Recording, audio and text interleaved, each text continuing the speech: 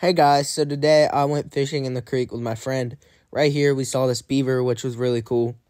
Um, we were fishing for smallmouth. Right here, I got my first one. Um, kind of small, but we caught him on the Ned rig. Caught him all on that. I was using a rooster tail, but no bites, so I switched the Ned rig and it worked. Second one, pretty big.